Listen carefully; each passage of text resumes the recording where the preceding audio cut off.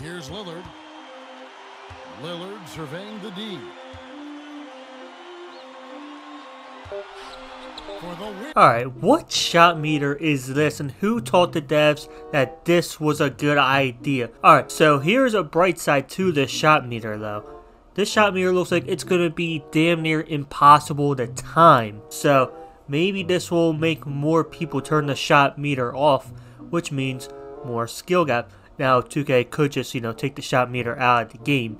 But it's all good. Another thing is, this might not be the only shot meter. Remember this year, you know, we had the 17 shot meter and the current shot meter. I mean, maybe we'll have the 19 slash 20 shot meter along with the 17 shot meter. Also, you see a heavily contest is forced. Now, I know this trailer is obviously edited, but did they actually let Damian Lillard knock down this heavily contested shot?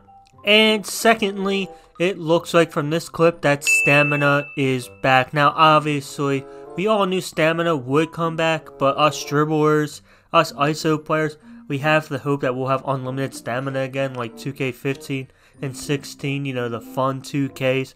But I understand they gotta bring Stamina back, they gotta make money off their Gatorade. But I want to break down everything there's to break down in this trailer, so there it is. Stamina confirmed.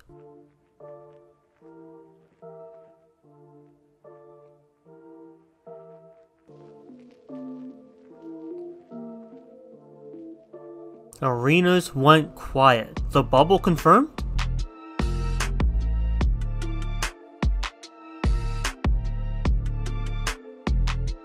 But the game never stopped. Alright, this might have shut down my bubble theory. So are we in an alternate universe where 2020 isn't happening? If that's the case, are we going to have like fictional rookies, fictional champions?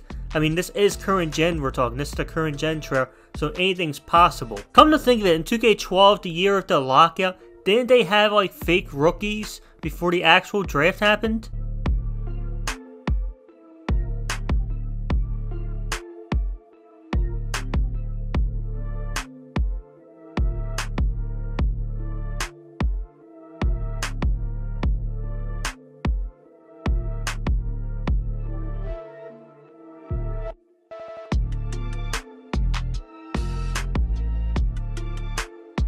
Bark size ups and playing out my career and my team?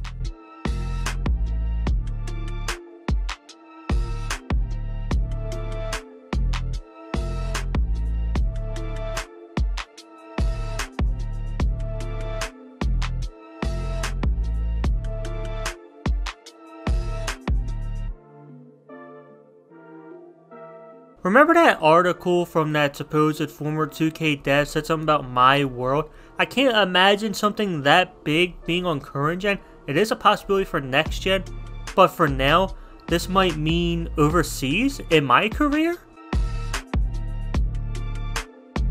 Yes, this is what we needed to see. The neighborhood is back sadly, but 2K Beach, so that must mean we're getting a new neighborhood. Now, the possibility of the neighborhood three years in a row was looking like a certain reality considering we didn't think there'd be much effort on the current gen.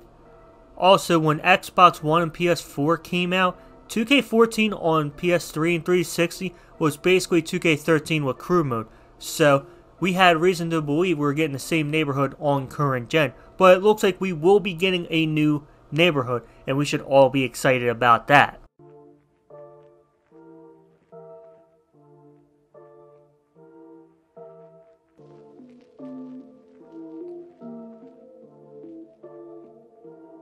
Wait, does this Kobe cover mean that there's a Legend Edition on current gen? Correct me if I'm wrong, but why would they show two covers if this is just for current gen? They don't show a release date. Does anyone know the exact release date for current gen 2K21? I know it's supposed to be in a month, but do we have an exact date? I would love to know. But I broke down just about everything there was to break down. There wasn't really much in this trailer, obviously, it's pretty much a teaser, and plus it's current gen but it was enough to actually get me somewhat excited. We got a new neighborhood. Uh, I'm not loving the new shot meter. I mean, I was planning on taking the shot meter off anyway, especially if it's like how it is in 2K20, where you have a advantage without the shot meter. But yeah, man, what do you guys think of this trailer? And was there anything I missed that you thought stood out in this trailer? Let me know. And on the end screen, I actually have a video breaking down Agent 00 Mike Wang, LD2K, and Alexis Morgan's 2K TV interview, and I would recommend checking that out. Also, make sure you hit the like button if you enjoyed. Hit that subscribe button, turn on post notifications if you're new. We're on the road to 6K. But, till next time, I am out. Peace!